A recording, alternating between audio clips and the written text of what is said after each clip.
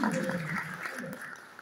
самом деле очень приятно видеть всех в нашем замечательном городе. Мы сегодня уже с некоторыми коллегами до совещания а, пообменялись мнениями. Конечно, первое что – погода. Да? С погодой повезло, вы приехали в такое замечательное время, белые ночи.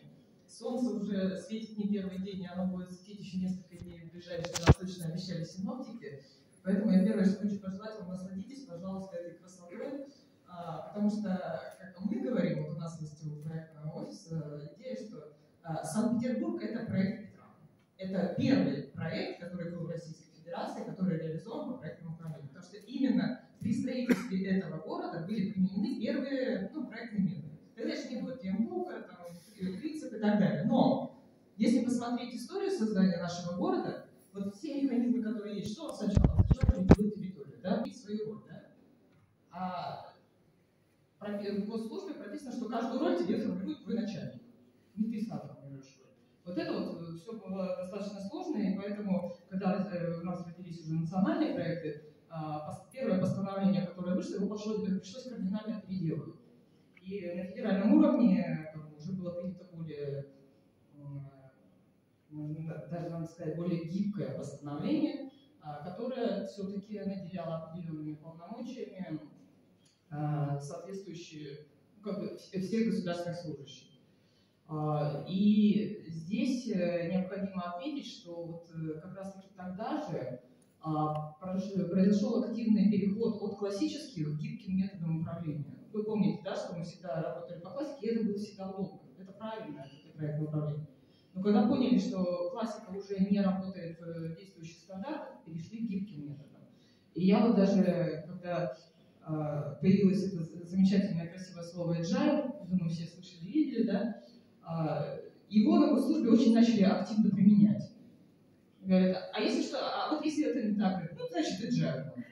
И я уже поняла, что просто реально в большинстве случаев э, произошел, э, произошел подмен понятия. Вместо слова хаос говорили agile, ну, чтобы как-то хоть оправдать свои решения. Вот. Но все-таки удалось это все структурировать. И я бы на что еще хотела обратить внимание, что а, вот внедрение проектного управления есть методология, да, но самое еще важное и значимое, это я про команду сказала, было как, каким образом людям, которые ну, на госслужбе все работают много лет, да, вот это надо принять, что госслужбы это э, люди, которые давно работают, которые знают свое дело, считают, что лучше их его никто не делает. И вот как было сложно преобразовать менталитет. Менталитет э, государственных служащих, которые, которые привыкли работать так, как они хотят. Как хотят. А вы знаете, человек, когда привыкает, ему все нравится, э, бы он входит в свою зону комфорта, и вот э, особенностью государственной службы является, что если человек зашел в эту зону, он продолжает сидеть, ему комфортно и так далее. Но особенностью проектного управления является что? Всегда создавать какие-то некомфортные условия, чтобы из них выходить, и тогда задачи решаются намного эффективнее, интереснее, ну и, и быстрее.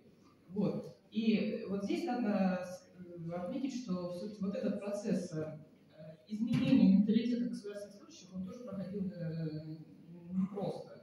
И я думаю, что это года два-два с половиной нас заняло для того, чтобы а, перейти от того, что когда мы э, приходили и говорили, надо сделать, давайте сделаем проект, нам говорили, ребята, мы сами знаем, как делать так далее, до того перешли, когда к нам приходят, а мы хотим сделать с вами проект, а мы э, хотим это, научите нас так, так, так, а мы знаем, как это сделать.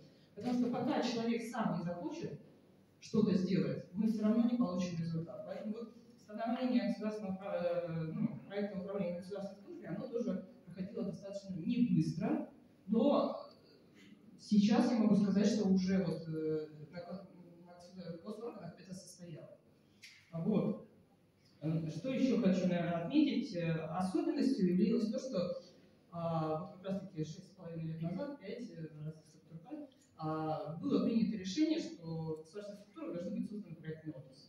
До этого вообще никто этого понятия, и у меня, когда когда создали проект, мы предложили его возглавить. Я его с самого начала возглавляю. Один из немногих руководителей региональных, которые до сих пор, до сих пор на этом месте. Вот. Но, э, честно, слово проектный офис, ну, для меня было оно понятно, потому что я человек э, и наукой занимающийся, я как бы все эти методы знаю. Но когда общались с коллегами, они там подшучивали, там, ну, проектное бюро пришло, э, кто какие слова помнил, тот э, так и называл, вот честно.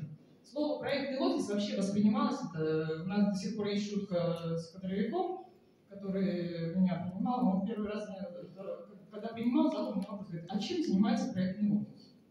Прошло шесть с половиной лет, он продолжает задавать этот вопрос. А, но это уже у него шутка, потому что три года назад я от него услышала одну фразу, которую э, он не запомнил, но я ее хорошо запомнила. А мне теперь стало понятно, чем занимается проектный офис. Потому что все можно доказать только на основе результата. Когда мы ему показали, что, что сделано, что изменилось, а еще изменилось в его сфере, потому что мы там тоже в кадрах кое-какие проекты реализовываем, ну тогда человек вот понял. Поэтому вот здесь вот создание отдельной структуры в государственной службе, оно стало каким-то достаточно серьезным рывком, и я считаю, стало одним из показателей эффективности, потому что особенность вот, формирования проекта, да, это сформировать правильную команду и обеспечить ее координацию. А так как у нас э, отраслей очень много, и город надо, э, регион содержать э, по всем направлениям, а каждая сфера пытается держаться у себя. Да? Вот есть социалка, они за социалку, есть строители, они за стройку, есть образование, они за образование. А когда сказать, что, знаете, а давайте, там, вот здесь надо проявить и социальные навыки, и построить что-то, и при этом еще дать образование, тут уже начинается сложность.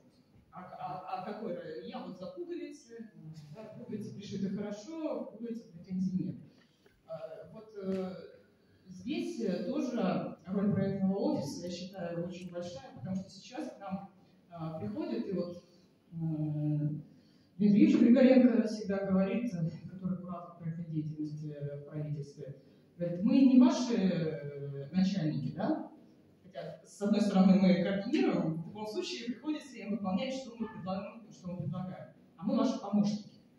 Вот к нам сейчас вот, э, приходят именно как помощники. Когда видят, что какая-то задача реально критически находится в состоянии, вот э, они уже сами справиться не могут, и приходят к нам и говорят, давайте мы сделаем проект и помогите вот найти какое-то нестандартное решение, потому что э, в чем особенность проекта, он всегда ищет нестандартное решение.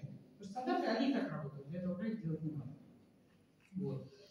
Э, поэтому вот э, роль проектного курса как мультифункциональщика, она такая достаточно значимая, я могу сказать. И здесь, наверное, правильное решение было принято в правительстве, когда было поручение создать во всех регионах такие структуры. Мы сейчас, могу сказать, у нас очень дружное сообщество. У нас 85, 89 теперь уже регионов. А, в каждом регионе есть руководитель регионального проектного офиса, у нас есть чат свой. А, я с вами сейчас разговариваю, активно в нем пишут, потому что сейчас параллельно идет совещание, в котором пытаются на проектный офис очередную задачу возложить. А мы пытаемся сказать, что есть кому заниматься этим делом, и даже показываем кому. Вот, э, поэтому вот здесь еще это дружное сообщество, которое позволяет, э, понимаете, когда все вместе понимают, какую задачу мы решаем какие проблемы возникают, оно намного быстрее решает даже на федеральном уровне эту задачу. Потому что когда федералу даешь э, снизу звоночек, а этот чат еще отдельно есть с федералами, которые это видят, ну, реально, сейчас мы уже Э, про документ, э, документооборот э, забыли, и иногда даже я задаю вопросы нашим руководителям, скажу, коллеги, вот этот проект мы решаем, у нас как бы только чат, или нам нужна еще официальная переписка? Потому что бывают вопросы, когда еще нужна официальная переписка, но это уже постфактум, это уже вторично. Если раньше э, на государственной службе что сначала письмо, сначала поручение, вот как мы это делаем, сейчас наоборот Приняли, решили, начали делать. Нужна бумажка, ладно, напишем, представим. Все-таки это еще где-то есть. Вот. На что еще хочу обратить, ну, вот, э, о чем рассказать. Вот в такой структуре, как я описала, а, очень важно, вот я сказала про менталитет и в целом про кадры. А, потому что а, работа с проектами, она всегда требует э, каких-то мультифункциональных знаний. Да, в каждом проекте должен быть специалист по соответствующей отрасли. Да? Но если мы говорим о проектном офисе, проектный офис должен значит все. Я уже иногда посмеиваюсь, потому что Я теперь еще и цифровизацией здравоохранения должна заниматься, я должна там как знать, как строить дороги, я уже знаю, как керны дорожные проверять качество работы дорог, да, я знаю, как проверять электронные документы оборот медицинской организации разрешенные. Я уже знаю такие названия, которые разные раньше вообще, скажи мне, я не, не знаю. Ну, короче, я не специалист, ну, я не специалист, вот единственное, что я не специалист в каждой сфере. Но я в каждой сфере знаю, если у меня есть проект из этого направления, а у меня 42 проекта сегодня, э, Санкт-Петербург, ну, не беру, у нас много ведомств, у меня есть приоритетные, их там за сотню. Я беру вот крупные, крупные вот эти проекты, у нас 42, и они по всем отраслям. И, и, конечно, мне, как руководителю проектного офиса, приходится знать особенности развития каждого, потому что самое главное, что мне нужно мониторить это вот показатели, да, ключевые показатели, значения. От них я никуда не уйду. Соответственно, если я вижу где-то проседание показателей, я укрепляюсь ниже и должна понимать, за счет чего надо там, и каких специалистов как раз таки надо в команду привлекать изредка. Вот. И здесь у нас э, кадровый вопрос, конечно, он встает на первое место. Вот э, сейчас у меня, э, да я изначально формирую команду, и я вижу, что проектный офис, когда, я думаю, вы, коллеги, если кто проектным управлением всех занимаетесь, да, а, в первую очередь нужен человек. Во вторую очередь нужен специалист. А, потому что на человек нужен со своими способностями. И в большей степени, вот я, например, да, беру молодых ребят, мне не надо, чтобы он был большим специалистом, но мне надо, чтобы он хотел, умел работать и мог э, как бы поглощать ту информацию, которая будет приходить. Потому что э, проектный офис – это координатор, он должен работать на основе имеющейся информации. Конечно, у меня есть э, руководители, начальники там, отделов, мои заместители. Они, конечно, должны быть обязательно с опытом, они должны вот это вот координировать, но ребята молодые приходят, и им как раз таки становится интересно, потому что от их предложений будет зависеть дальнейшее развитие. Но здесь есть э, вторая сторона этой медали. Э, специалисты, которые у меня проработали год-два, они становятся уже реально мультифункциональными специалистами, и они очень, и на них очень начинают смотреть рынок. А у меня на государственной службе, к сожалению, есть такой вот один неположительный момент, стабильная заработная плата, но она определенного размера. Специалисты, которые у меня через два года вырастают, они реально на рынке оцениваются уже выше. И вот здесь моя задача, каким образом удержать кадры, имея только вот э, фонд заработной платы, который есть. Потому что государственная служба до сих пор не изменила законодательство о, об оплате труда, и я могу э, оперировать только фондом оплаты труда. Да, у нас есть квартальные, да, у нас там есть годовые премии, но это все равно не тот объем, который дает рынок для специалиста, которые уже умеют управлять проектом. И вот здесь это, э, наверное, преимущество специалиста, который умеет управлять проектом, он реально ценится на рынке, а для меня это проблема, как удержать этого специалиста. Потому что э, вот скажу, что за последние полгода три человека, три у меня ушли, мне пришлось их опустить. Я не, могла не опустить, что ребята реально выросли, дальше у меня уже им расти было негде, на зарплату сразу в два раза больше. Все. Я, конечно, с некоторыми, кто меня их забрал, поругалась, потому что это были те ребята, с которыми мы когда проекты реализовывали. А, вот. Но, но как сделать вот э, так, чтобы они все-таки оставались, э, ну, по зарплате никак не сделать, сразу скажу. Пока что никак что все, мне надо завершать, э, я могу закругляться. Вот. А по функционалу, вот это всегда, пожалуйста, и на госслужбе это, конечно, дает нам серьезное преимущество.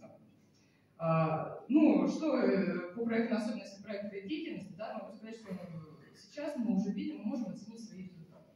Вот есть проект, да, а, когда мы входили в нее, мы только видели начало. начало. Сейчас мы уже каждый год, каждый месяц мы видим какие-то результаты. И это приятно ощущать, и это приятно осознать, что эти результаты получены там со, со сроком два раза короче. Там. Ну, два раза не всегда, но реально э, смотришь, когда вот были долгострои, были там, отсутствовали школы, сегодня они появляются, они появляются вовремя, а иногда даже досрочно.